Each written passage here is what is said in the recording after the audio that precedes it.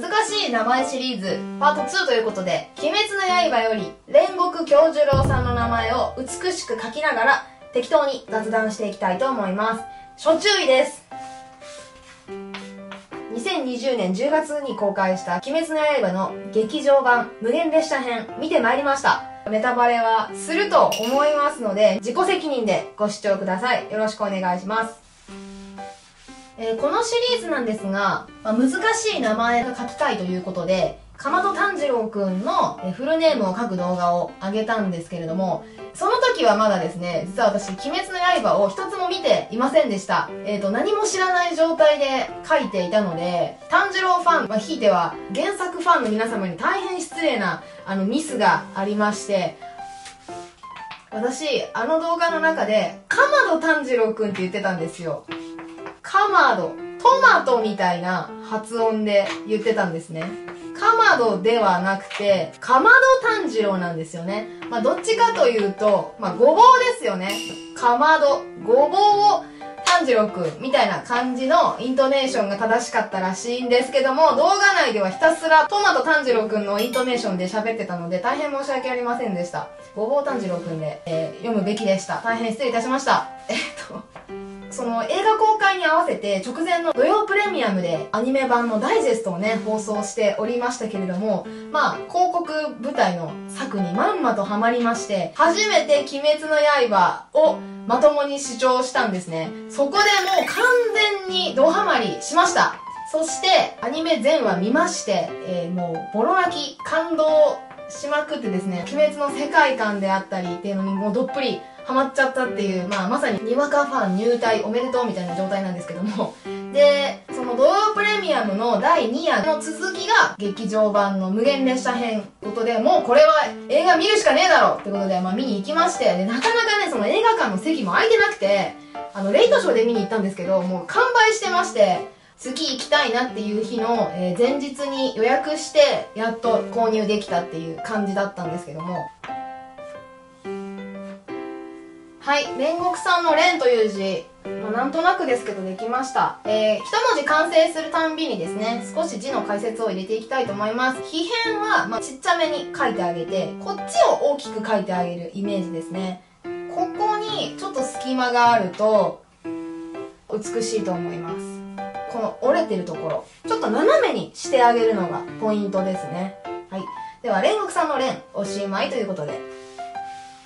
かまど炭治郎くんの名前は難しいっていうことで前回挑戦したんですけど、まあ、煉獄さんの字もなかなか難しいので、もし気が向いた秘密ファンの方がいらっしゃいましたら、この動画を見ながらですね、この煉獄さんの字を書いていただいて、書けたよっていう報告の旨を、なんかツイッターかなんかで教えていただけると大変嬉しいございますので、よろしくお願いします。で、この映画館やっと行けて、もう煉獄さんの映画だったんですね、あれって。あの、最初にこいつ出てくるじゃないですか。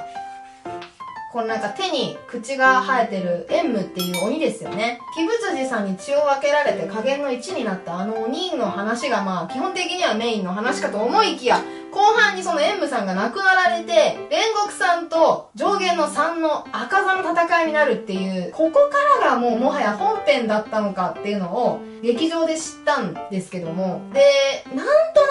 くネットとかを見てると、その煉獄さんが早めに亡くなるってことだけは知ってたんですけども、まさかこの映画では死なないだろうと思ってたら、激戦の末に戦死なさったんですが、もう本当に、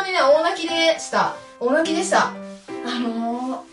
ー、なんて言うんですか？煉獄さんも、その、父親に認められないとか、満たされないところもありつつ、それを、こう、変にぐれたり秘めたりせずに、謙虚な気持ちで、せめて弟だけは、かわいそうな思いさせてはならないという、あの、慈悲の心というか、あの、優しさも携えつつ、しかも炭治郎たちも傷つけさせはしないと、最後に炭治郎たちにね、こう自分の思いを告げたり、禰豆子を鬼殺隊の一員だって、あの、俺が認めるっていうのを、はっきりと言ってくれて、炭治郎がどれだけ心が救われたことかって思うんですけども、そこでもう大号泣してしまいましたね。で、ちょうどソーシャルディスタンスなご時世なので、座席の間隔を空けて座ってるので、まあ私がここに座ってたら、すぐ隣に人がいないので、気にせずに泣けるというか、で、結構周りの人も大号泣している感じでですね、それぐらい感極まる演出がすごいなされていて、彼のそうそうたる思いを映像班がものすごい頑張って映像化されたと思うので、それをダイレクトに受け取ったという感じで、はい、感動して泣いてしまいました。えっ、ー、と、とか言ってる間に煉獄さんの5区終わったのでちょっと解説します。獣編を一番大きく書いてあげてください。ゴンベンみたいなやつと犬をややちっちゃめに。で、犬なんですけど、右払いですね。ここが一番かっこよく長く書けるようにしたいので、この横棒は少し短めにして収めるとかっこいいですね。それでは、煉獄さんの5句おしまいです。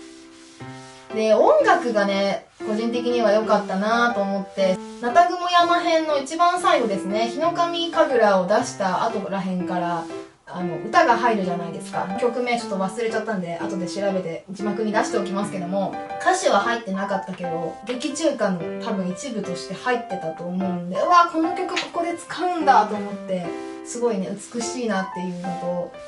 で、やっぱり泣かせたのはね、あの、京次郎の自分の人生をやっぱ最後振り返るときに、やっぱお母さんの存在が彼には大きかったんだろうなっていうところで最後お母さんが出てきて、立派になったねっていうことを認めてもらって、京次郎もニコニコっていう風になってたのが、お兄ちゃんっていう側面とか、鬼殺隊の大先輩みたいな、みんなを引っ張っていかなきゃっていう立場の京次郎から、一人の子供としての京次郎というか、お母さんに認められて嬉しかったっていう等身大のくったくない笑顔っていうのがすごい印象的でね優しい笑顔でめちゃくちゃねほっこりしてまたそこでも泣いちゃったんですねで、あ、すいません。ちょっと今日の字解説します。木と口でできてるんですけども、木をめちゃくちゃでかく書いてください。上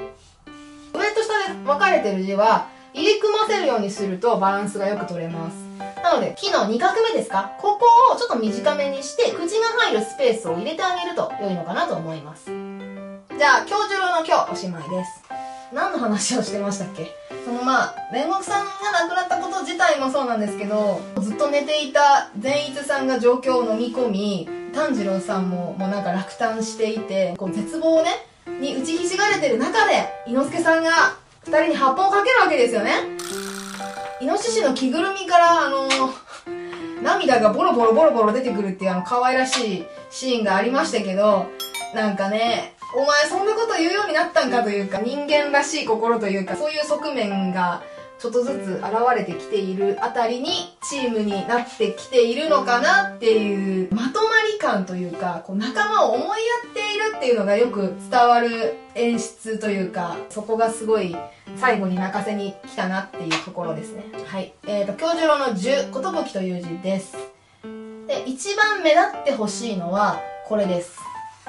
1、2、3画目は割と控えめな長さにしてあげると良いと思います。で、全部同じ長さだとちょっと格好悪いので、長くしてあげるといい字になります。では最後、教授色のロいきます。今日ね、難しい名前シリーズの動画を作ろうと思ってて、本当は第2弾は、ねずこを書こうと思ってたんですね。ねずこのねっていう字も難しいので、だったんですけど、映画を見ちゃったら、ちょっとねずこには申し訳ないんだけど、気持ちがもう完全にねずこから京次郎に流れてしまい、もうねずこ、ごめんと思って。今、京次郎さんがちょっと愛しいわ、みたいな、尊いわっていう感じになっちゃったんで、ちょっと後回しというか、先に煉獄さん書くって決めたんですけど、はい。えーと、京次郎のロー、炭治郎のローと同じですね。こんな感じ。左は上に、右は下に少しずらしてあげると意外とバランスが取れるので、この形を目指してください。